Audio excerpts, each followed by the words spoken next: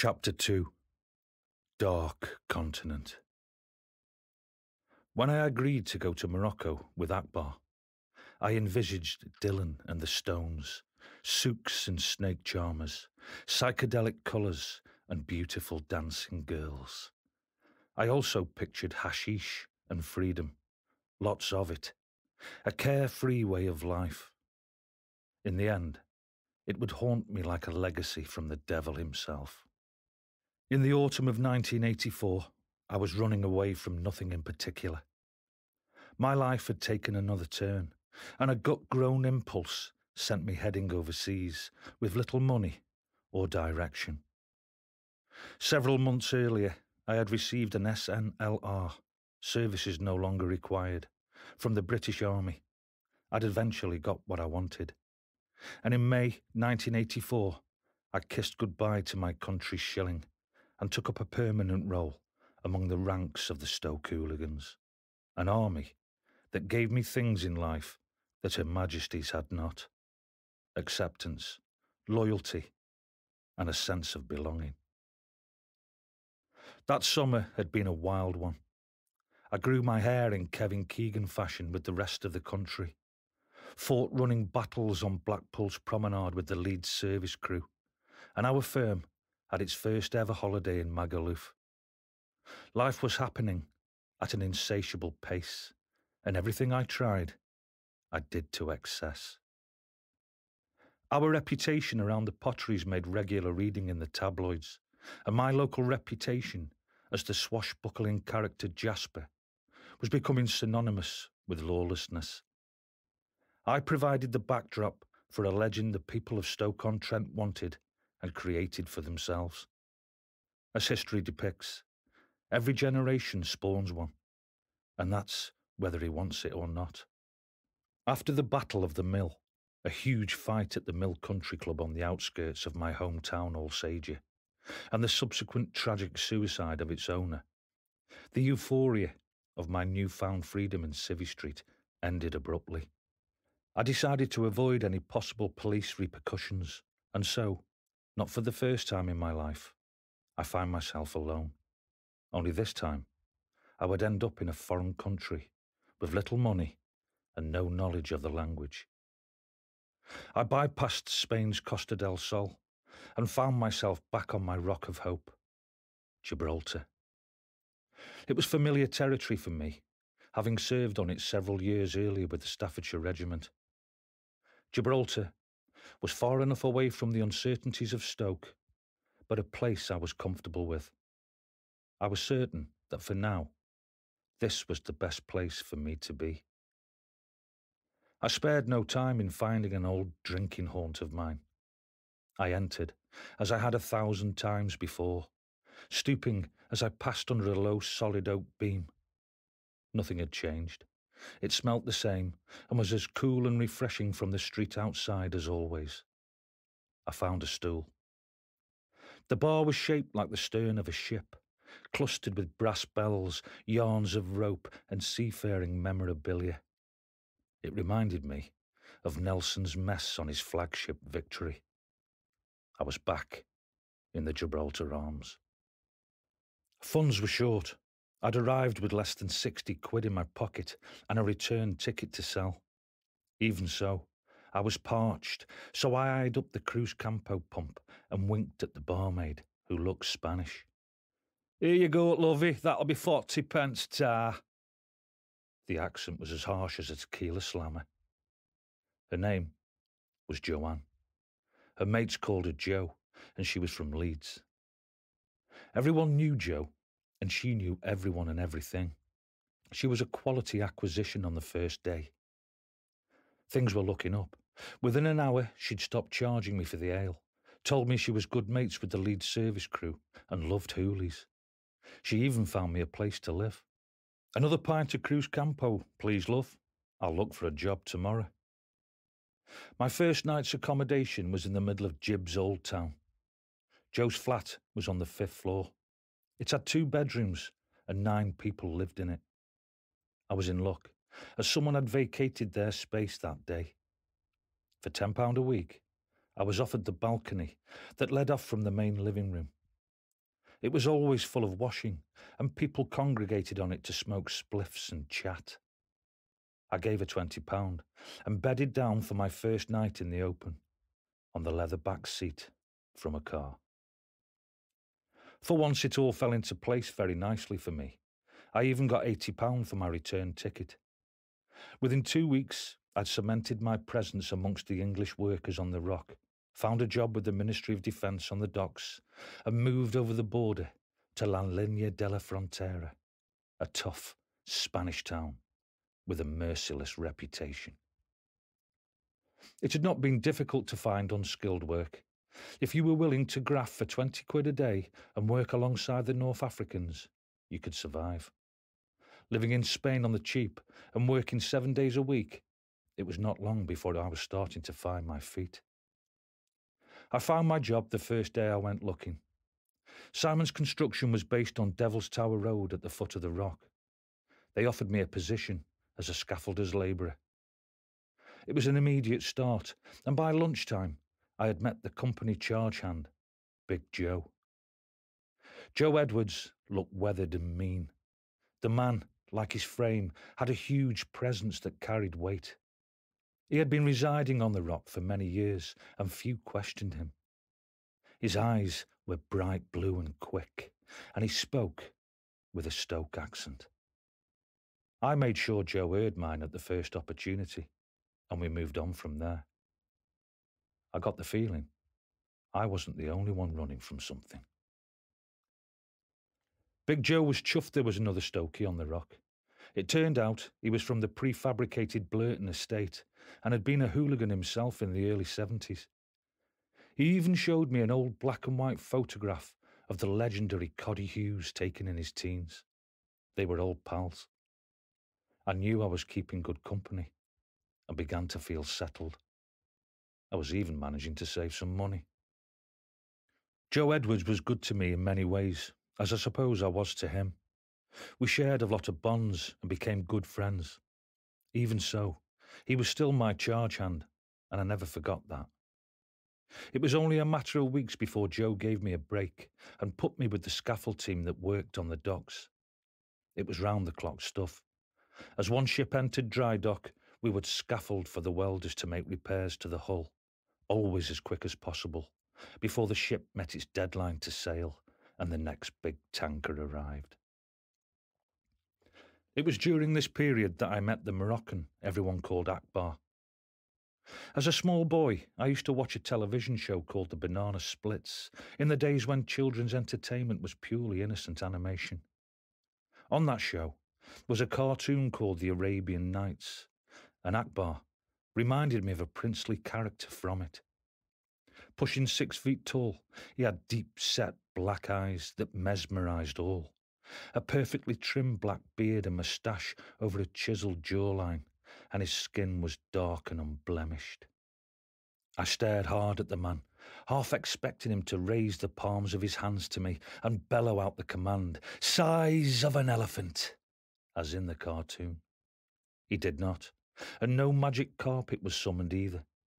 He was a mere scaffolder after all, and he spoke with a soft, gentle whisper in broken English. Big Joe wasn't one for formalities.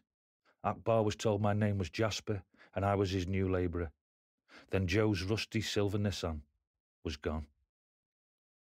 The big Moroccan offered me his hand and work duly commenced.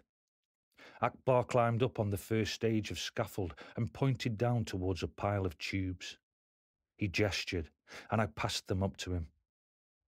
I was taken aback at how agile he was, and even more surprised that his work shoes were a pair of size 10 Adidas football boots with moulded studs. He wore a bright green, all in one boiler suit, and like most of the Moroccans, a little blue knitted hat at the back of his head. Several weeks passed and little was said, until one day there was an accident. A German traveller, probably about my age, 21, was badly crushed when a huge piece of replacement steel hull fell from its hoist only yards from where we were working. Akbar and I stopped to look on with the rest of the dockers. We sat silently and shared a moment of sympathy for the crushed man. I think, from that moment on, the two continents and cultures that divided us were forgotten. Humanity sometimes needs to be forced upon us before we behave like humans. Working with Akbar changed after that day. We became friendly towards each other, and he taught me bits of Spanish. I was surprised by how many languages he could speak. He would even tell me about his life and how much he missed his family back home in Tetuan. Most afternoons were spent suspended high above the docks, the views of the Bay of Gibraltar, the straits, and the far off snow capped Atlas Mountains were breathtaking. Africa made a great backdrop for my new friend's stories, and I would casually roll a big joint and smoke it while I listened to him intently. Life didn't get much better than this. I was happy, relaxed, and felt alive. I sat in the passenger seat listening to Joe passing wind. We were due to start a new job that day, and Akbar was late. It was most unlike the Moroccan, and Joe showed an unusual tolerance to the delay. He's here now, mate, I said. Joe wiped the tomato ketchup from around his mouth with a napkin, and we both got out of the car. The Moroccan looked flushed and fervent. He was holding a letter from home. The pair spoke briefly together in confidence. Then Joe bid us both adios. A week later, Akbar chose to share his good news with me. His clan were having a celebration for the homecoming of a nephew.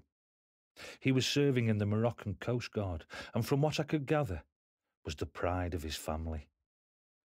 Akbar invited me to go with him to Morocco, and I excitedly accepted the invitation. I suppose my persistent questioning over the next few days must have driven him insane. But all of a sudden, I've got a new mystical adventure ahead of me. I wanted to know everything. My country is the northernmost tip of Africa and the bottom lip of the Mediterranean Sea, he said. It was a geography lesson my second favourite subject at school. Not surprisingly, Akbar, who was probably in his late thirties, was a very knowledgeable man. I was surprised to learn that his country had only a slightly bigger landmass than the state of California, a place that one day I knew I would visit. Joe wasn't surprised one bit when I told him I was going to Morocco. He told me to keep my eye on the little bastards and not to turn my back on one. They weren't all as sound as our friend. I already knew that, but I still took the advice on board. The day we left, I drew several hundred pounds out of my post office account on Main Street. We walked over the border to Spain and caught a packed bus to the port of Algeciras. It took an hour, and the sun baked us. I spent the time examining my surroundings and listening to the Flying Burrito Brothers on my headphones. Akbar sat quiet as always, away with his secret thoughts. The port was bustling. Spain lost its influence here, and Africa filled my senses. I was becoming spellbound. Akbar's mood also changed. We stood on the top deck, where it was cold and windy. He told me to listen carefully about his people and their ways. I am a Berber, his voice was firm and direct, yet confiding. I only speak with truth to you. Some people will see you as weak and an easy way of getting money. Think before you speak, my friend. He finished speaking, though our eye contact remained steady for several seconds. He shook my shoulder. He was sure I understood his meaning.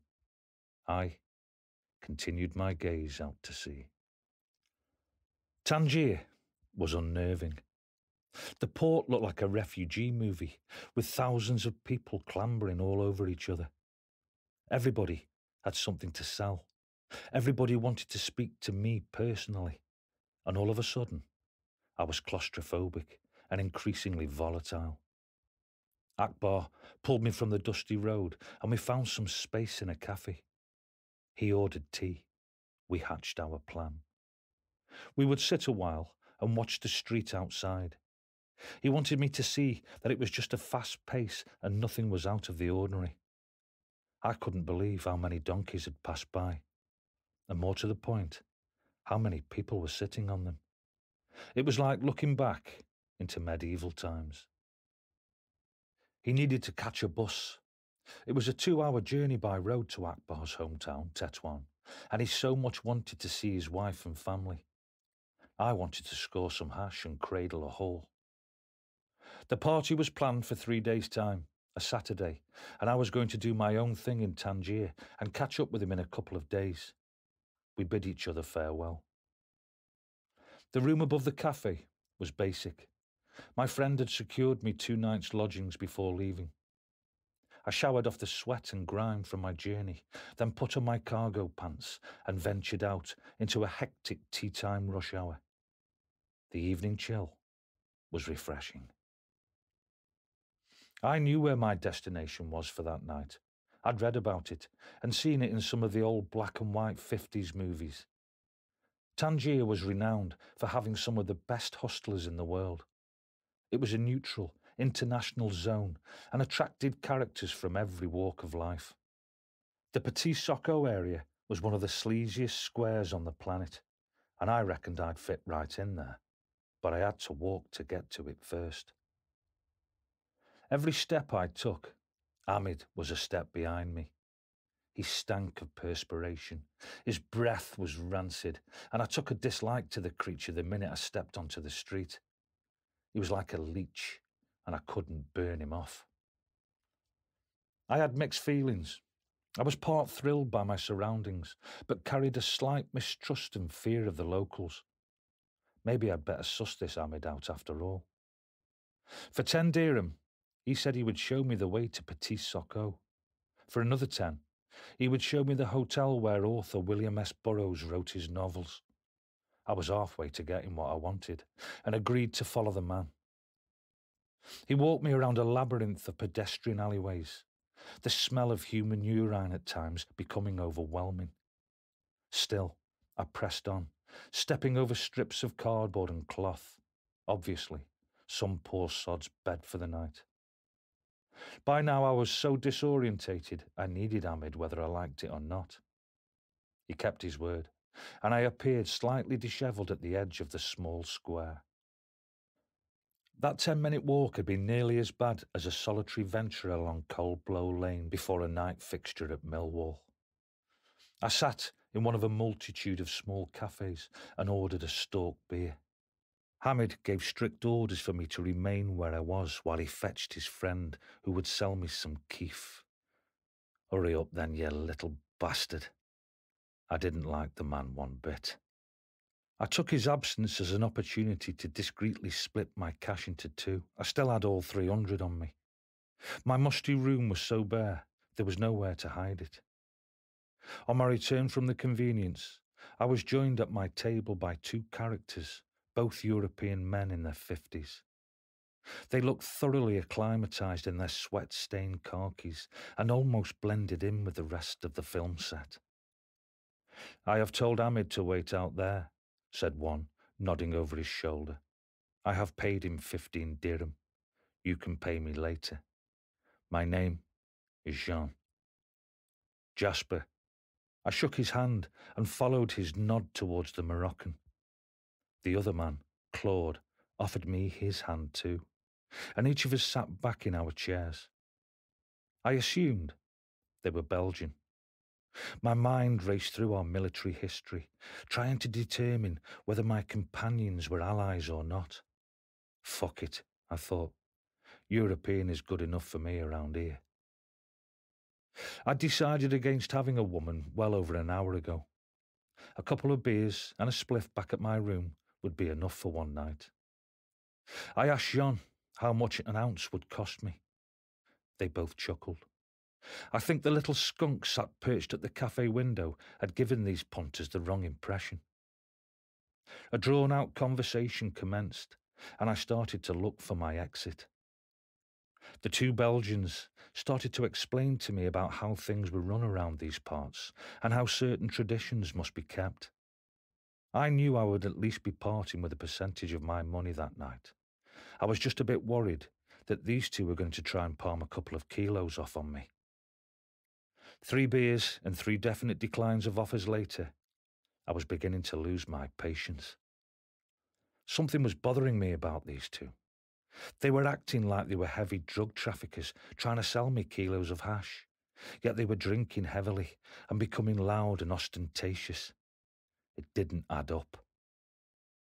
From behind a heavy brow, I scrutinized them. I was a 21 year old and didn't know then what I know now, but it suddenly dawned on me that I was in more danger than I was likely to be in a row about a bit of hash. I concentrated on the faces of the two Belgians. Something was missing. I saw them in more detail now. Their piercing blue eyes, their blonde moustaches, and milky white skin. My gut was yelling at me. These are not normal men. With my confusion came fear. They laughed amongst themselves, slapping each other on the back. They leered at me through their laughter. Jesus Christ, I'm on the fucking menu here. The penny had dropped. I was definitely in way over my head and had to act fast. I weighed up my options. My natural instinct was to slam my bottle right across the middle of Claude's forehead and make a dash for it. But that was an absurd idea, and I had to repress the feeling immediately. What else? I couldn't think straight. My head began to reel. The beer, the climate, the situation. I began to sweat profusely. He never let me down. He swore he never would. And I never really understood why Steve Bloor took his own life. He was always stronger than me, and I looked up to him. As in life, in spirit, my old army pal Steve has never left my side, though he killed himself not long before I left the forces. To this day, he guides and protects me. He took a seat at the table next to me. We shared a warm smile of acknowledgement, invisible to the Belgians. Steve liked that.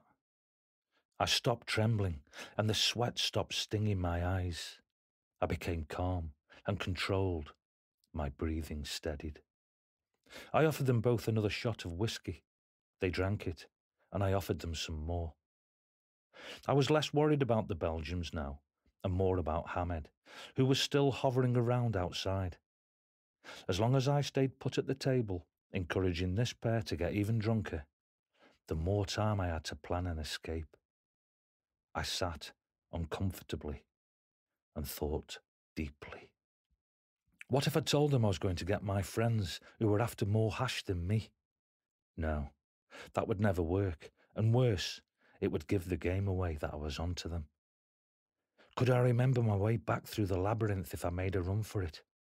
No way. I would be seized by the Moroccans. I decided another trip to the Kazi was needed and left the table without being excused. I didn't look back as the sound of laughter was replaced with a dark mumble. The window was far too small to climb through. Besides, behind it was pitch black. I cursed to myself. The toilet door opened and closed behind me, and Jean appeared standing to my left. He began to pee. I watched him through the corner of my eye. He was vulnerable. What if I slammed a heavy kick into his knee straight across the joint? That would reduce my problem by a third. But for how long? And what if he started to squeal like a bastard? Anything I had ever done in my life that might help me resolve this problem was lost in time. I found myself opening up a conversation without choosing my words first. Where are we going after here? I asked while pretending to do up my fly. Jean leaned his face into mine and licked his top lip. His moustache was wet and tar stained on the edges. Somewhere a little less busy We need to finalise our arrangement. What fucking arrangement is that? I thought as I blurted out my next sentence. I'd rather just go with you. I stared the man right in the eyes. His tongue appeared again briefly before he shook his head. We all go together, he hissed back at me. I could feel my heart jump a beat. I really did not like my situation one bit. I sat back down at the table. More beer had been ordered. I peeled the label and nervously drank from the bottle. I noticed that Hamid was now inside the cafe, perched at the bar. I got up and approached him. Hamid, if I give you 200 dirham, can you get me a beautiful woman? I spoke through frozen lips. I was banking on the lure of the money. So far, Hamid had only earned 15 dirham, and we were at least two hours into the ordeal. I was hoping he was as unscrupulous as he looked. Too fucking right he was. I ordered another couple of shots of whiskey and had it delivered to the table. Hamid spoke in Arabic to the man serving behind the bar, who nodded his head and looked hard at me. I began to believe that I was finally finding a solution. My chances of getting away from Hamid were greater than taking my chances with the two Belgians. Buying my way out was my only option. The man behind the bar poured my next drink into a glass and placed it in front of me on a beer mat. His finger remained on the mat, and as I looked down to pick up my glass, I saw the arrow immediately. I looked behind the bar to my right and eyed up the door. Hamid was gone. He reappeared seconds later, back outside the window. He stared at me without emotion. I waited and turned my attention to the Belgians. Neither one of them was actually frightening by their appearance. Physically, we were no mismatch, and I would have fancied my chances with either, or even both at the same time if I had to. It was just an accumulation of everything that was overpowering me. I was now placing my trust back in the hands of a man that a couple of hours ago I wanted to set fire to. I handed a 20 dirham note to the barman to cement our deal. Steve had been and gone, but I'd found my strength. I was alone again, and it was up to me now.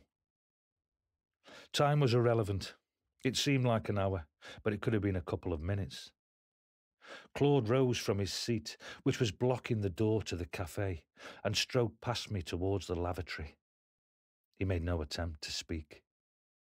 As the door closed behind Claude, Jean shuffled across into Claude's seat. His movement touched a nerve. The barman replaced the ashtray and dusted the table. For a split second, I lost sight of Jean and I made my move. Vaulting the bar, I landed hard and awkward. The bottles I kicked over made an unearthly clatter as I struggled to find my feet. The door I'd been eyeing up was in touching distance. I wrenched it open and threw myself through it. At once, I could taste fear. I hurtled along the dim, narrow corridor and jumped down the stairs at the end in one leap.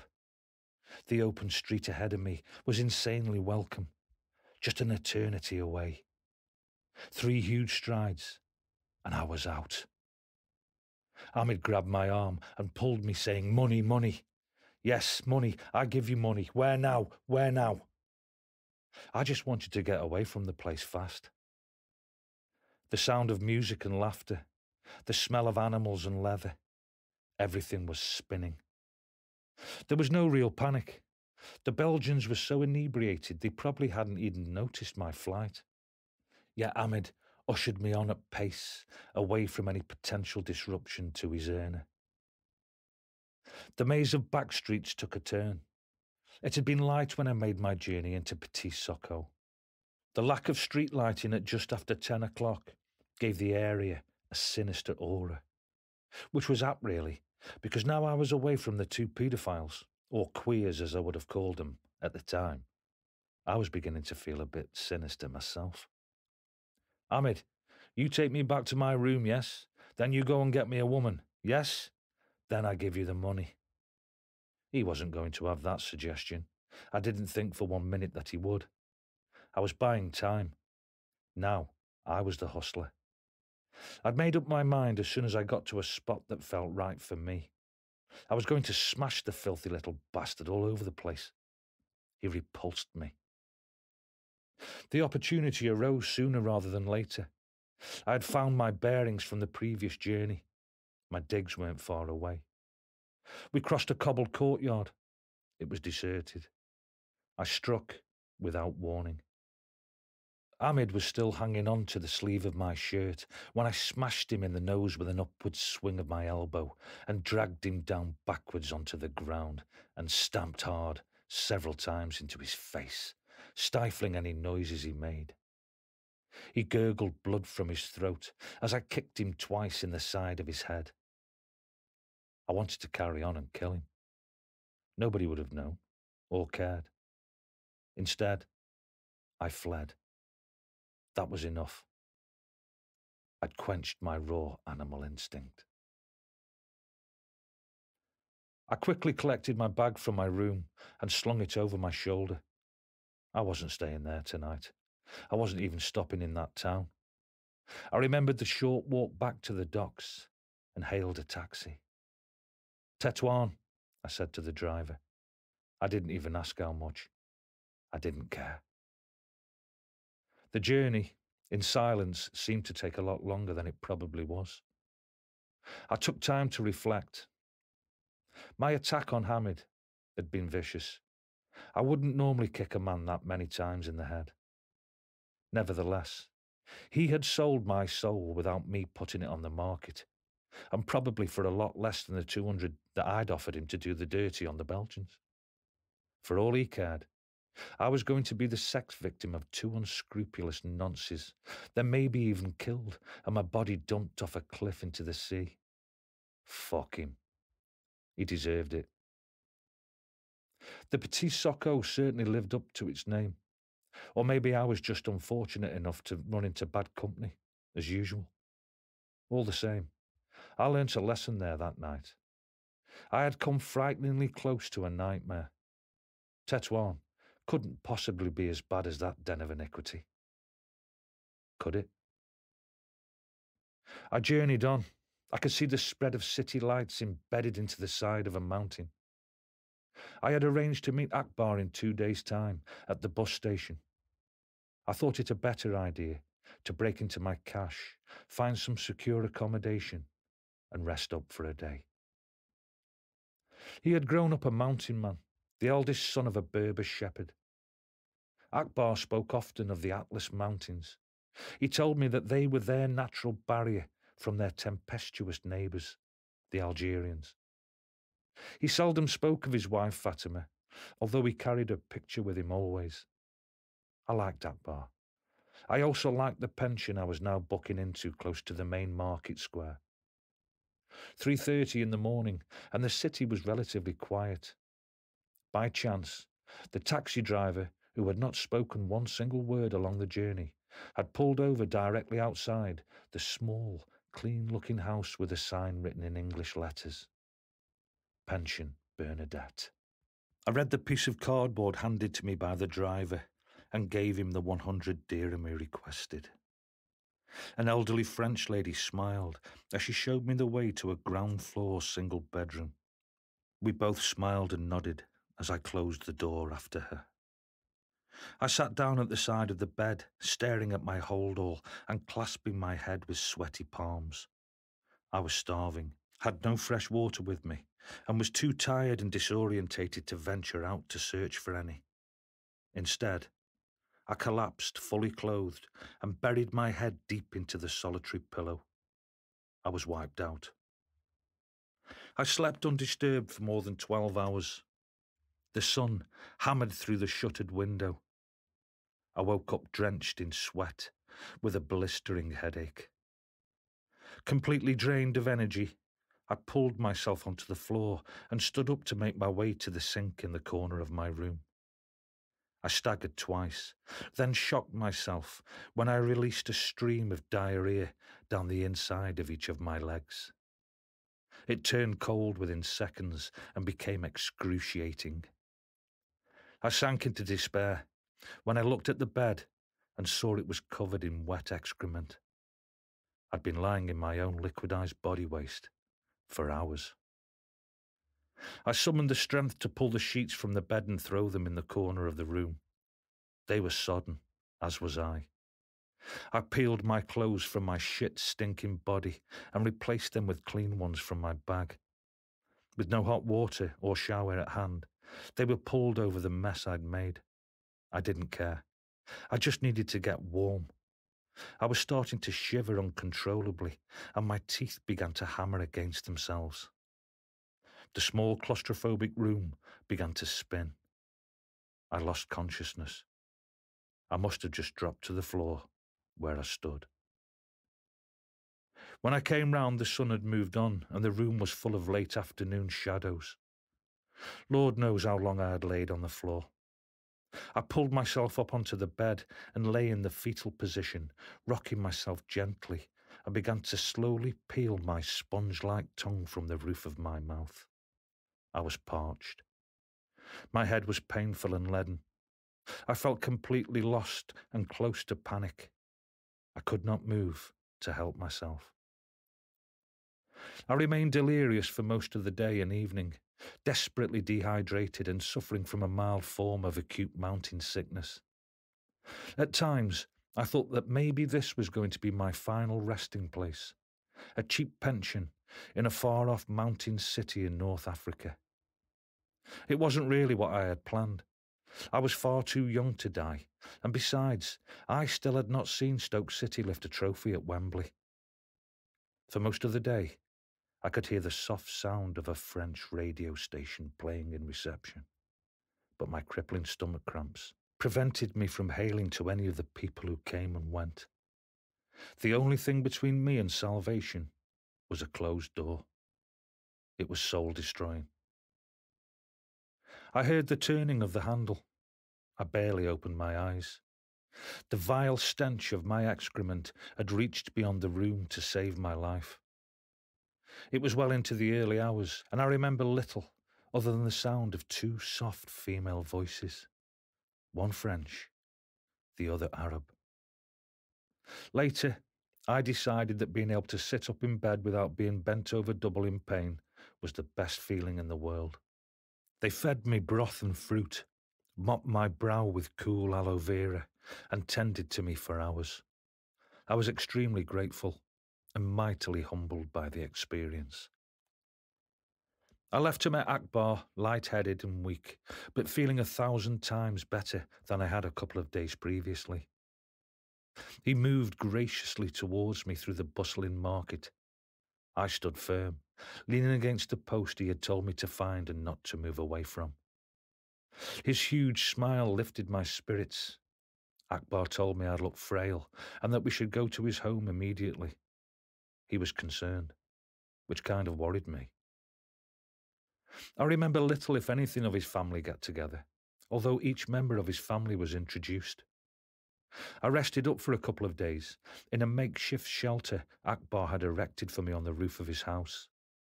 It consisted of a large one piece fly sheet thrown over a line and secured, and was the size of a garden shed. Laid out on the floor were reed mats and several huge, comfortable pillows. If I had not felt so shitty, I would have likened it to a harem. But for the moment, it was just a welcome bed. Akbar and Fatima had four sons, the eldest being Youssef. It was he who took over the role of head of family while his father was working away in Gibraltar. He was 14 Akbar's visit home was short. He needed to get back and earn money. He encouraged me to stay, however, and get better, during which time Youssef would show me their culture. I agreed to stay. I was beginning to get my strength back, and I wanted to get on with my journey of life. I began to enjoy the Moroccan lifestyle. Several weeks passed, and I familiarized myself with my surroundings. Tetuan was a flat city with few buildings above five stories. The skyline was mostly dominated by mosques, and at night I would lie inside my tent, smoking keef, looking up at the stars and listening at what the city threw at me. It could be quite haunting. During the days, I would sit on my haunches smoking keef through a hookah pipe and drinking mint tea with Akbar's extended family. It was whilst doing this that I met Simi, Akbar's youngest brother. At first, I wasn't sure whether I liked Simi. He was far more westernised than anyone else I had met, quite trendy with his fashion. He had slick back hair, wore lowest jeans with leather loafers, t shirts, and a black leather bomber jacket. I did like the jacket, but again, I wasn't sure whether the man liked me. I decided to treat him with much more caution than the rest. You need to be wary of anyone with that many scars on his face. A month went by. I had given Yusef the equivalent of a hundred pound to give to his mother towards my board. Every time I asked if they wanted some more money, they refused and smiled, saying, Enough, enough. It was an easy existence, and I was loving it. And more to the point, nobody in the world knew where the hell I was. I got to know Simi better quite out of the blue. I had noticed him trying to read my tattooed arms on a number of occasions. Eventually, I lifted my arm for him to see. His English was better than I had first given him credit for, unless he had just chosen the moment when to use it. He asked me about the British Bulldog and the inscription above it. Stoke, Stoke City, I read slowly as I ran my finger along it. English football team, very good in England. Me, English football hooligan. Yeah? You know hooligans? Simi laughed in acknowledgement, nodding his head with a huge smile. We both laughed, him more than me. We had touched base. Simi told me he was a football supporter, but not a hooligan. His local team was Maghreb de Tetuan. He said that they were playing their rivals Ittihad Tangier soon, and we should go and watch. I was chuffed at the suggestion and toked hard on the hookah pipe. That night, Simi showed me how he earned his living. Tetuan was a vibrant place in its own right, though less geared up for tourism than Tangier. Nevertheless, when the odd unsuspecting Westerner showed up in search of their own elusive grail, they fell victim to Simi's thieving ways. Over the next week, I ventured out at night with him and hung with his crew.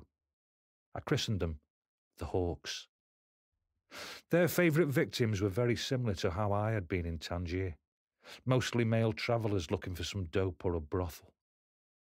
They would befriend them and promise to take them away from all the street hustling and barging about, take them to a backstreet cafe, and tell them to wait on the promise of some of the finest hashish in Morocco. They would always leave someone to watch and protect their quarry from other sharp eyes. After some time, Simi would return to the cafe on the back of a moped. He would always look perturbed, like he had gone so far out of his way to accommodate their request. Each time, he tried to push the amount of dope wanted even higher. In my naivety, the first time I saw them do it, I actually thought it was a straight bit of business. I sat with a couple of the hawks in a cafe opposite, our eyes trained on four teenage Israelis. They looked relaxed and drank tea whilst awaiting their hashish. In time, the moped clattered to a stop on the dusty rock strewn road, and Simi coolly stepped off the back and swaggered inside the cafe, sat down, and ordered tea. He kept the Israelis waiting, spinning his spiel and exaggerating his concerns about the street outside. The travellers eventually conceded to his persistence and accepted two nine bars of hash wrapped in gold and green silk scarves. Simi shoved the cash inside his jacket pocket, jumped back on the waiting moped, and left. The two hawks I was with remained seated and composed as they watched. I did the same. The Israelis began to gather their belongings for their exit. Almost immediately, one, then the other, sharply took to their seats again. They looked ruffled. I stared on. Four police officers entered the open fronted cafe, each taking off his hat and placing it on a vacant table. They sat down. The Israeli teenagers looked perturbed, their discomfort blatantly apparent. They reached for empty teacups and pretended to drink. None spoke a word. I still hadn't fully switched on with what was unfolding in front of me, but shared the teenagers' dismay when one of the soiled looking police officers left his table and approached them. The hawks next to me fidgeted excitedly in their seats. Passports, s'il vous plaît. The officer gesticulated for each to show their ID. Each of the four handed their blue passports to the man, who then sat back down with his colleagues and began to examine them thoroughly. The four friends sat nervously awaiting their fate. Four sets of chair legs scuffed the worn wooden floor as the police all stood up together. Their approach was slow, and their search of the Israelis' bags methodical. The silk scarves were placed on the table in front of the ashen faced friends. Each had frozen, and three were now crying. They were collectively stood up and marched away from the cafe, led along a packed avenue, and disappeared amongst a throng of jostling bystanders. One policeman remained seated at his table, one foot on the floor, the other stretched out across a chair. He looked smug. The sound of a moped brought movement from the hawks. I stood too. Again, Simi stepped off his pillion and entered the cafe. He sat down at the table and spoke with the bank copper. In the blink of an eye, their dealings were done. Simi left the scene. We followed on foot. Back at their barber shop HQ, the door shutters were pulled to. The rewards were then split amongst a six strong gang. In effect, they had come out of the scam with the two bars of hash they had started with, plus half of the money taken from the Israelis. I sat and said nothing. All of a sudden, I didn't like the gang I was in anymore. Still, I found it amazing to watch as they celebrated their triumph with a Berber throat cry. I got a gut feeling that Simi, in some kind of a way, was taunting me. I skinned up a joint and smoked it. I watched the Hawks for over a fortnight and even picked up a bit of their language. They were all excellent pickpockets and drew no line whatsoever on who their next target would be. When I attended the much awaited Tetuan v Tangier game, they pilfered at least a dozen wallets. The game itself was the real first reminder of home since I left Europe.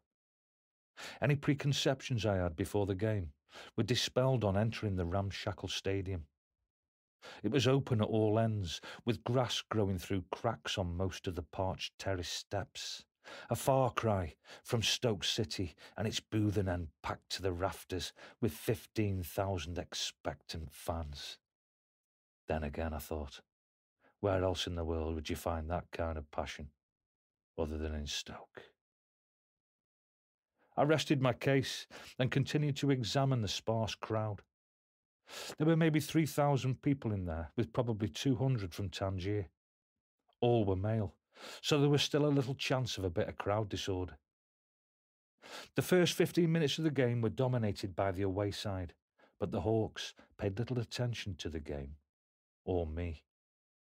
One of them had spotted an unsuspecting and lucrative looking target. The English couple away to our left stuck out like sore thumbs. The fella even had a big camera hanging around his neck.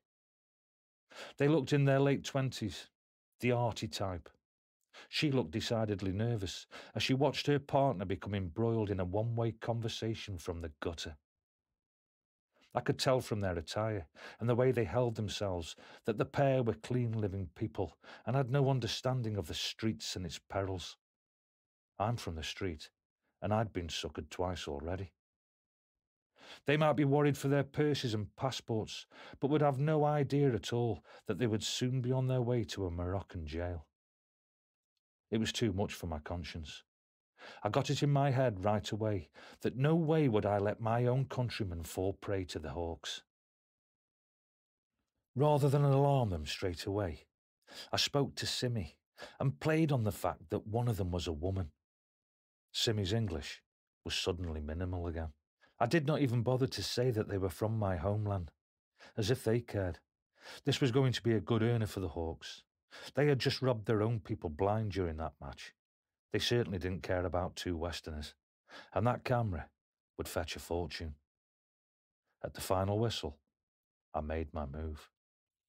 Hello, how did you find the game? I imposed my handshake on the Brit.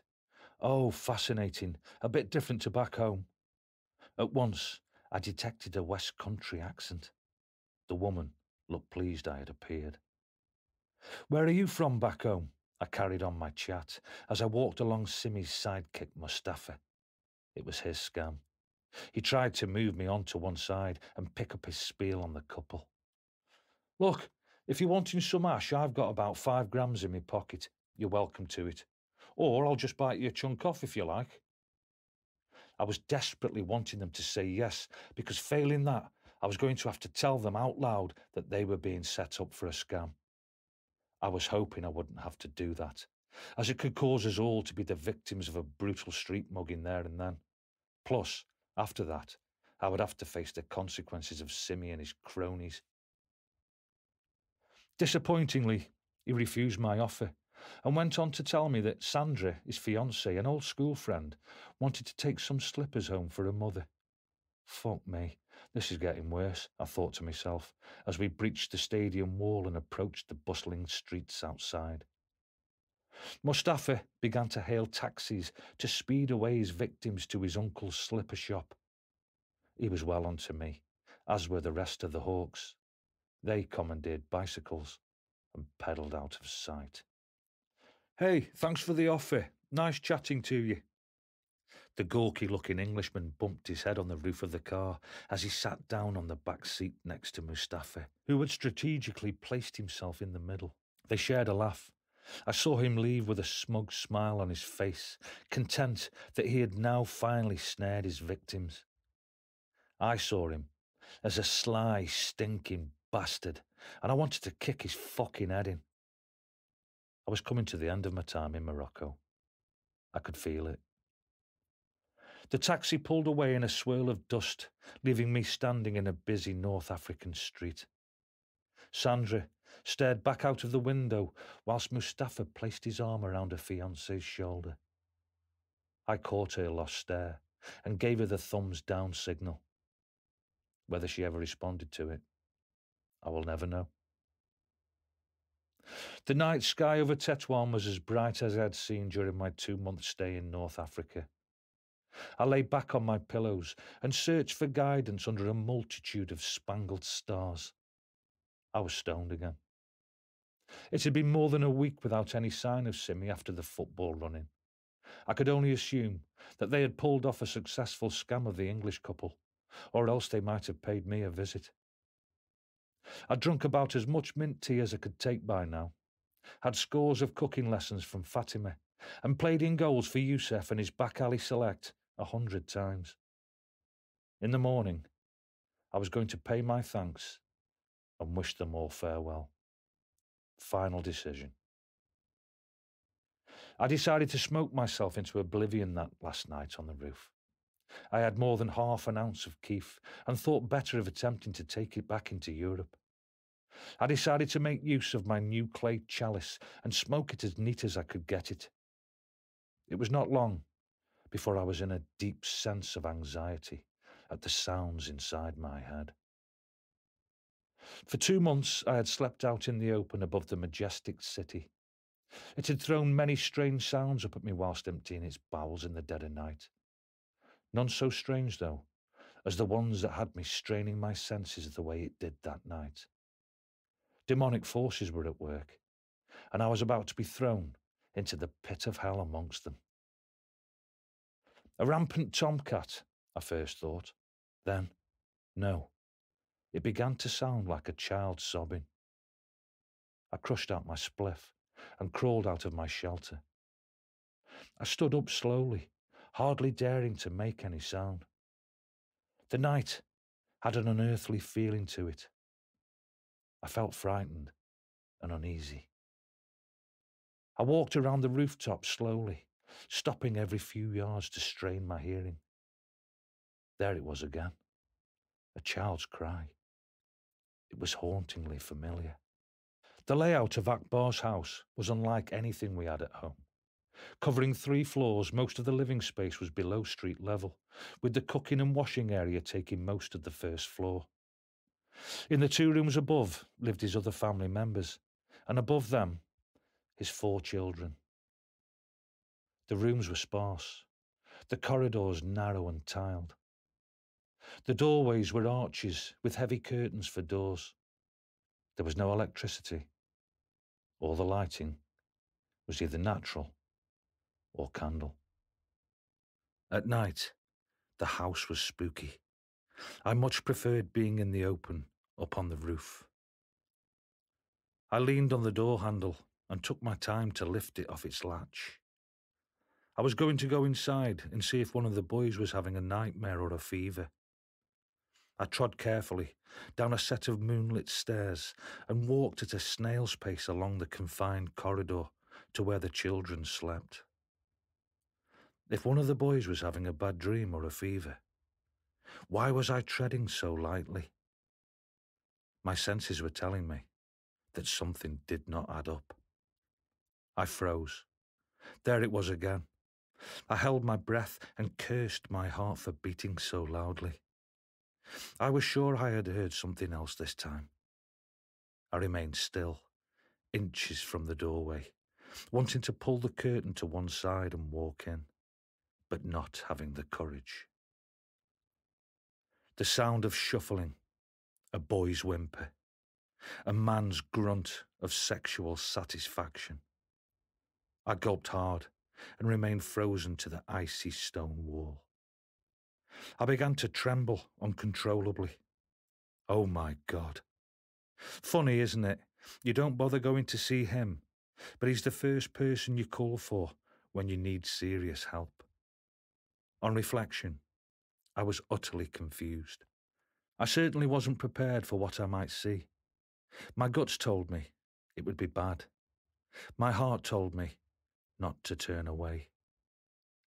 I reached slowly for the curtain and held it for some time before I pulled it slowly to one side. It was like going over the top at the Somme. Once I had made my move, I was going in. The room was moonlit, full of hazy shadows, and stank of alcohol and sweat. The three youngest boys all sat tightly together in the corner of the room, their backs up against the walls, their knees pulled tightly up into their chests, their heads and faces buried deeply behind their legs. None of them made a sound. Movement tore my stare away from them and into the centre of the room. Mortified, paralysed, I cringed at the scene taking place ahead of me on the floor of the room. Yusef, Akbar's eldest son, looked small and limp, his face harrowed and tortured. He made no expression as I stared into the face of his uncle behind him. Simi's face hung clear over the boy's shoulder. He was naked. His body glistened with sweat. His mouth hung open. His evil eyes burnt me up. I screamed without making a sound. I couldn't speak. No word could leave my lips. My limbs felt like lead. I cried, but no tears fell.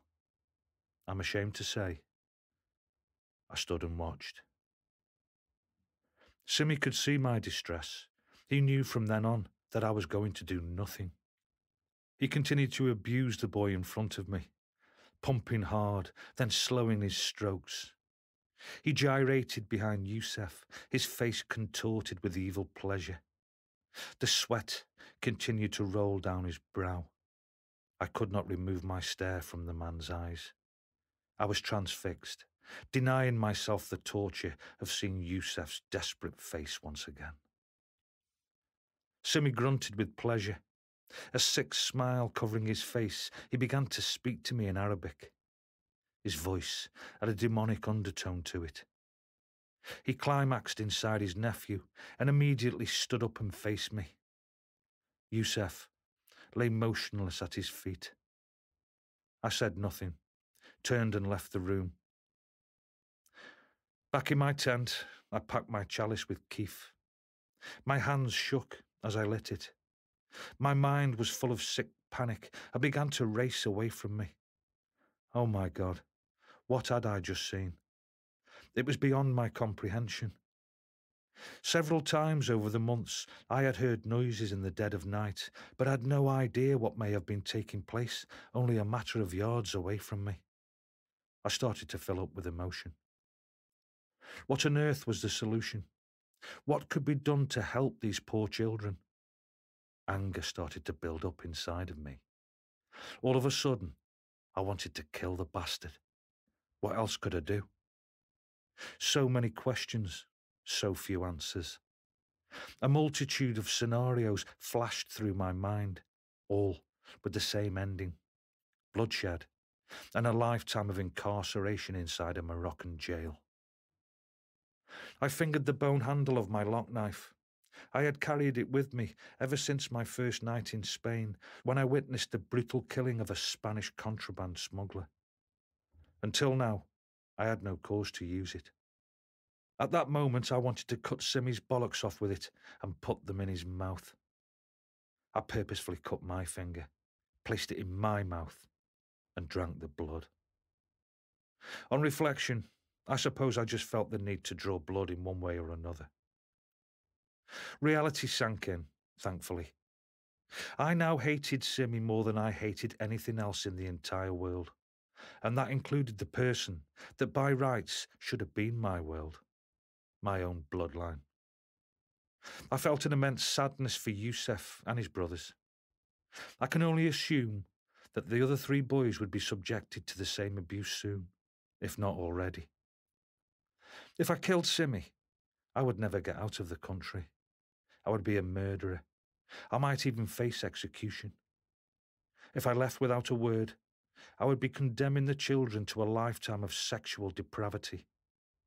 Either way, it was a no-win situation. I was still a condemned man, guilty of doing nothing, sentenced to carry a tombstone weighted with guilt with me for the rest of my life. And believe me, at times, it's weighed heavy. I left Tetuan that very night on foot. I walked for some time, just walked. At first light, I, along with several others, jumped onto the back of a truck heading for the port of Ceuta. I said nothing, just stared. Occasionally, I picked dust particles from the corner of my eyes. For three nights I slept on a deserted beach before I finally mustered the strength to make the ferry journey back over to Algeciras. Still I said nothing, not one word to a single soul. I walked from Algeciras to La Linea. It took me over eight hours. So what? I wasn't in any rush to get anywhere. I slept heavily that night, and the next day crossed the border to Gibraltar and emptied my post office account. I was going to hit the road for a while, and I had no room for any passengers. My Moroccan nightmare. They say it helps to put things down in words sometimes, and I would have to agree with that to a point. I exorcised several ghosts from my life in the writing of Naughty. Some might say I've now put them all to bed forever. Reliving this story, however, I feel has made me feel worse. I'm an older man now. I'm as hardened to life as we all are. We've got to be. Child abuse is a worldwide disease. It's more than probable that it takes place under your very own noses, as it did mine. What are you going to do about it? Run out and attack your neighbour, or turn a blind eye? thankful that it's happening to someone else and not you. Ask yourself the question. I turned my back and walked away from what I felt would end up a life sentence in a Moroccan jail, despite the fact that by that action I may have been sentencing those boys to years of sexual abuse at the hands of their own uncle. For that, I am deeply sorry. The incident has affected me ever since. And for the record, I feel no better for writing about it. How could I?